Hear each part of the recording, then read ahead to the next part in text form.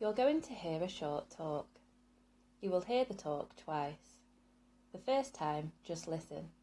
Then I'll ask you to tell me in a few words what the speaker is talking about. Are you ready?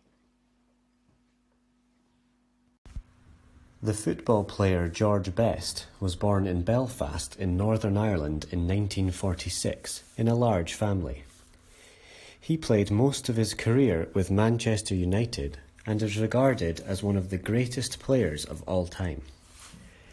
He was the first of a new generation of glamorous celebrity football stars, so he could be considered like Ronaldo today. Best won many cups and trophies as a professional football player, but he never played in the World Cup. He also won the European Player of the Year in 1968 when he was only 22 years old. Later in his career, George Best had problems with alcohol and he played in different clubs around the world, often for short periods, including America, South Africa, Scotland, and Australia.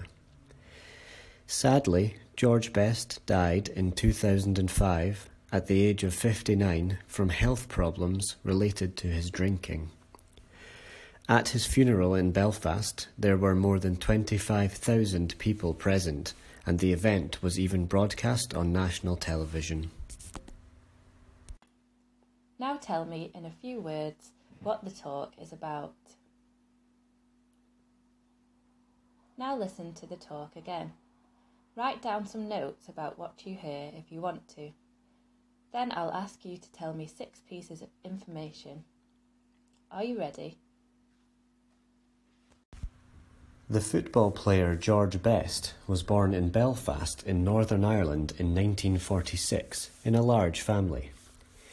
He played most of his career with Manchester United and is regarded as one of the greatest players of all time. He was the first of a new generation of glamorous celebrity football stars, so he could be considered like Ronaldo today. Best won many cups and trophies as a professional football player, but he never played in the World Cup. He also won the European Player of the Year in 1968 when he was only 22 years old. Later in his career, George Best had problems with alcohol and he played in different clubs around the world, often for short periods including America, South Africa, Scotland, and Australia.